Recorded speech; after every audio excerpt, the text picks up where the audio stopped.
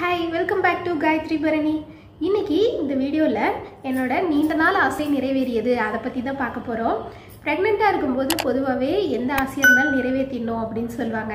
அதுவும் சாப்பிட்றத பொறுத்த வரைக்கும் எதுனாலுமே சாப்பிட்ற சாட்டிஸ்ஃபை பண்ணிடணும் அப்படின்ட்டு எல்லாருமே கேட்குறதெல்லாம் செஞ்சு தருவாங்க. அதே மாதிரி தான் நானுமே ப்ரெக்னென்ட் ஆனதுலேருந்தே எங்கள் அத்தையுமே ஏதோ ஒன்று செஞ்சால் கொடுத்து விடுவாங்க. அத்தைன்னா அத்தைனா மாமியார். அவங்களே வந்து நான்வெஜ் பிரியாணினாலும் கொடுத்துருவாங்க அஞ்சு வகை சாதம் செஞ்சு தருவாங்க. அப்புறம் எது ஸ்பெஷலாக செஞ்சாலும் முறுக்கு மிச்சர்லாம் அவங்களே செஞ்சு கொடுத்தாங்க. எது ஸ்பெஷலாக செஞ்சாலும் கொடுத்துருவாங்க. அதே மாதிரி தான் எனக்கு ஏதாவது வேணும்னாலும் அம்மாட்ட கேட்டாலுமே அம்மா அம்மாவும் செஞ்சு கொடுத்துருவாங்க. அதனால் ஒரு பெருசாக எனக்கு வந்து இந்த தடவை இன்ட்ரெஸ்ட் எதுவும் இல்லை. இது சாப்பிட்ணும் அது சாப்பிட்ணும் அப்படின்ட்டு. இப்போ எல்லாம் எல்லா பொருளுமே கடைகள்லேயே கிடைக்குது இல்லையா? பேக்கரி ஐட்டம் எடுத்துக்கிட்டோன்னா ஐஸ்கிரீம் கேக்கு பலகாரம் ஸ்வீட்டு எதாக இருந்தாலுமே எல்லாம் கடைகள்லேயே கிடைக்குது. அதனால் எதாக இருந்தாலும் கேட்டால் இவரு வாங்கி கொடுத்துருவாரு. அதனால் பெருசாக இந்த தடவை அந்தளவுக்கு இது சாப்பிடணும் அது சாப்பிடணும்னு நினைக்கல.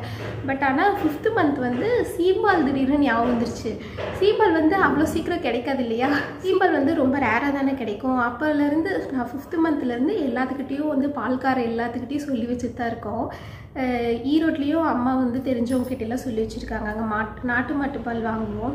அவங்கக்கிட்ட சைக்கிள்காரங்கக்கிட்ட அந்த மாதிரி எல்லாத்தையும் சொல்லி வச்சாங்க. நானும் வந்து இங்கே வந்து நாங்கள் ரெகுலராக பால் வாங்குறவங்ககிட்டேயும் சொல்லி வச்சுருந்தோம். அவங்க எல்லாம் த்ரீ மந்த்ஸ் ஆகும் அப்படின்னு சொல்லியிருந்தாங்க. சேலமில் கூட சொல்லி வச்சுருந்தோம். நாங்கள் ஒரு தடவை விருந்துக்கு போயிருந்தோம் இல்லையா செவன்த்து மந்த்து அப்போ அங்கே கூட சொல்லியிருந்தோம். அங்கே கிடச்சிது பட் நாங்கள் ஊருக்கு வந்ததுக்கப்புறம் தான் கிடச்சிது. அது எனக்காக தான் சொல்லியிருந்தாங்க. அதனால் சரி வேணாம். நானே ஊருக்கு கிளம்பிட்டேன். அதனால் வேணாம்னு சொல்லிட்டாங்க. அதுக்கப்புறம் லாஸ்ட் மந்த்து தான் எங்கள் நாத்தனாருக்கு வந்து கிடச்சிது. சீம்பால் கிடச்சிது. அவங்க வந்து எனக்காக அப்புறம் கொடுத்தாங்க. அப்போவே எனக்கு வந்து ஹாப்பி ஆயிடுச்சு அப்படியே திருப்தி ஆயிடுச்சு எஸ்கே நான் கிடைக்கவே கிடைக்காது. எங்கே போய் கிடைக்க போகுது அப்படின்னு தான் நினச்சிட்டு இருந்தேன். எப்படியோ அப்போவே கிடச்சிருச்சு. அப்போ வந்து நான் வீடியோ எடுக்கல. அப்போ வந்து நான் கிடைச்ச சந்தோஷத்துலேயே செஞ்சு சாப்பிட்டேன். அப்போ செய்யும் போது வந்து என்னாச்சுன்னா ஸ்வீட் வந்து கரெக்டாக இருந்துச்சு பட் இன்னும் கொஞ்சம் இருந்திருக்கலாம். இன்னும் கொஞ்சம் இருந்திருந்தால் இன்னும் தித்திப்பாக இருந்திருக்கும் செம டேஸ்ட்டாக இருந்திருக்கும் அப்படின்ட்டு ஃபீல் ஆச்சு. அந்த டேஸ்ட் வந்து ஞாபகிச்சிட்டே இருந்தேன். இப்போ வந்து எனக்கு இந்த தடவை இந்த வீக் வந்து நாங்கள் இப்போ பால்கார்ட்ட சொல்லி வச்சுருந்தோம்ல அது அவங்க வந்து த்ரீ மந்த்ஸ் ஆகும்னு சொல்லியிருந்தாங்க. கரெக்டாக இந்த வீக்கில் கிடச்சிரும் அப்படின்னாங்க. நாங்களும் வந்து சொன்னோம் நெக்ஸ்ட் வீக் நாங்கள் ஊருக்கு போயிடுவோம் அப்படின்ட்டு. ஐயோ ஊருக்கு போயிடுவாங்களா? அதுக்குள்ளே எப்படியாவது வாங்கி ரெடி பண்ணி தரணும் அப்படின்னு சொல்லி எப்படியாவது ரெடி பண்ணி கொடுத்துட்டாங்க. அதனால் இந்த இது வந்து செகண்ட் டைம் இது இந்த தடவை வந்து நல்லா ஸ்வீட்னஸ்லாம் தித்திப்பாக போட்டு நல்லா டேஸ்ட்டாக எங்கள் அப்பாவோட அம்மா வந்து ஆயா செய்வாங்க சீம்பால் செஞ்சு தருவாங்க. அவ்வளோ டேஸ்ட்டாக இருக்கும். நல்லா சுகர்லாம் நல்லா போட்டு தித்திப்பாக செம்ம டேஸ்ட்டாக இருக்கும். சீம்பால் டேஸ்ட் வந்து எனக்கு இன்னமும் அப்படியே இருந்துச்சு. அவங்க இப்போ இல்லை. ஆனால் வந்து அவங்க செஞ்சு கொடுத்த ரெசிபீஸ்லாம் வந்து எல்லாமே சூப்பராக இருக்கும். அந்த மாதிரி இருந்துச்சு. இந்த தடவை நான் செஞ்சது வந்து எங்கள் பாட்டி செஞ்ச மாதிரி அவ்வளோ டேஸ்ட்டாக சூப்பராக வந்திருந்தது.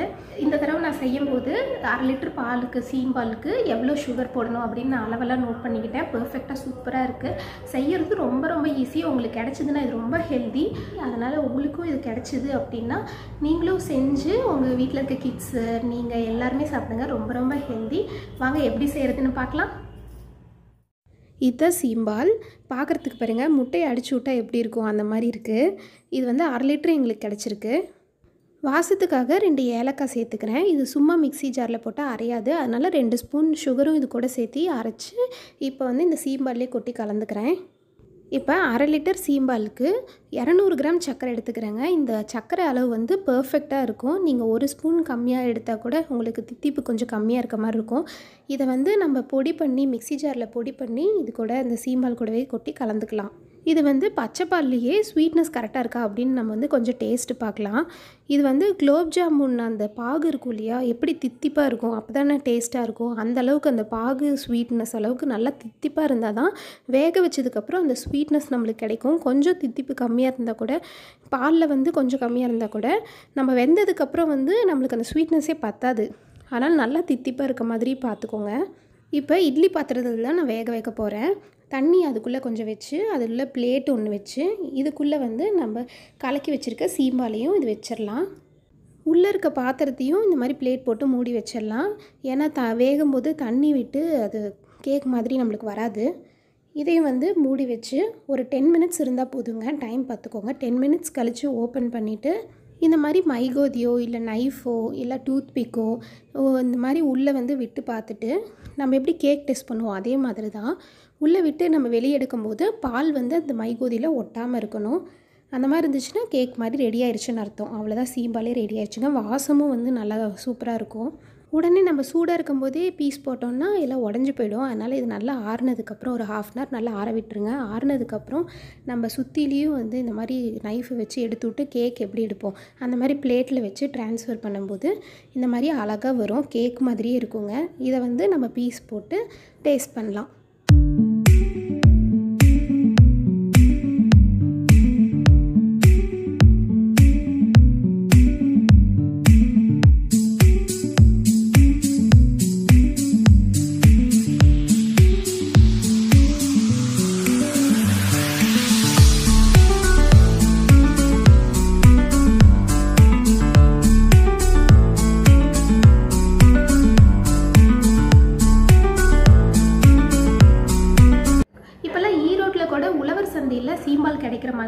கேள்விப்பட்டோம். சரி லாஸ்ட் வரைக்கும் கிடைக்கலன்னா அங்கே நைன்த்து மந்த் ஊருக்கு போய் அந்த மாதிரி ஒரு தடவை வாங்கி ட்ரை பண்ணி பார்க்கலான்னு நினச்சோம். பட் அதுக்குள்ளவே எனக்கு டூ டைம்ஸ் கிடச்சிருச்சு.